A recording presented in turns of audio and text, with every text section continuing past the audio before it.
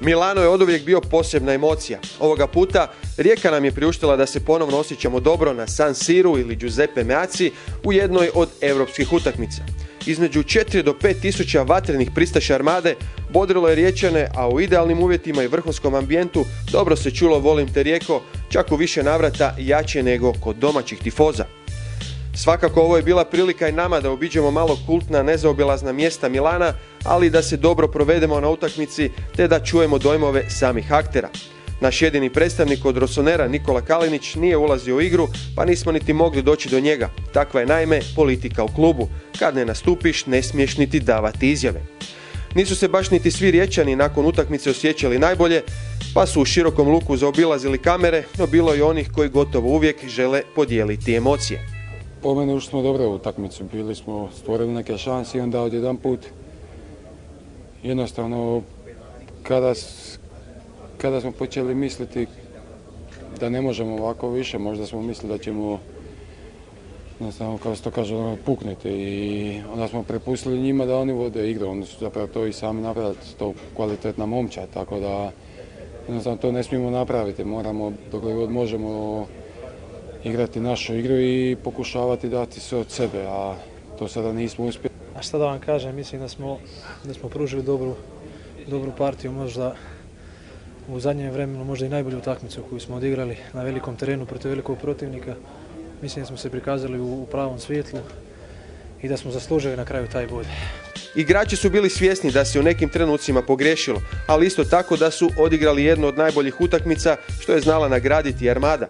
Jedino se trener Kek osjećao drugačije, te okrivio neke igrače da nemaju želje i da nisu spremni dati sve od sebe. E, žao mi je naših e, navijača i svih nas jer smo se borili za to i vidjeli smo da možemo na kraju krajeva nešto napraviti. Šteta. Iskreno mislim da danas je falilo da nešto napravimo isto malo s moje strane. Mislim da tri udarca u okvir i tri gola da sam trebao nešto malo više pružiti da bi se došlo do nekog rezultata. Tako da se ispričavam i igračima i klubu i navijačima i svima. Mladi pošteni čuvar Rijekine mreže Simon Sluga našao se prozvan u Kekovim riječima, a gledajući pošteno jedina pogreška bila mu je kod trećeg gola. Nažalost, to je i presudilo.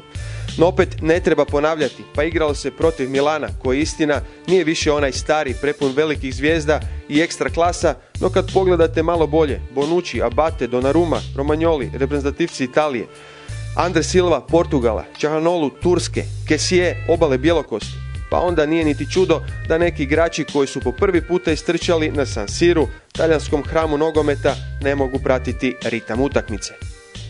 Jednostavno i mi sami smo se tako osjećamo kao i on, znamo i mi sami da je to sve do koncentracije, da je to sve tada da moraš imati ta ina da ti moraš tih zadnjih 5 minuta dati malo više snage od sebe i kad jednostavno padneš da se psihički moraš malo više dignuti i to se nama sada dogodilo, nismo uspjeli i ovo mora biti škola za buduće.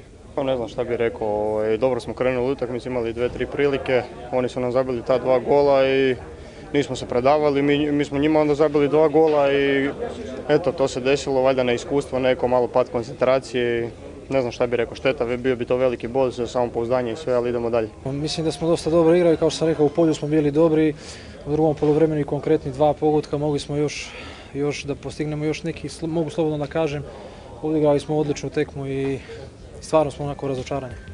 Rezimirajući na kraju, možemo potvrditi da se Rijeka nije nimalo osramotila. Od pozitivnog rezultata dijelila ih je tek jedna minuta, no i to je škola koja se uvijek plaća.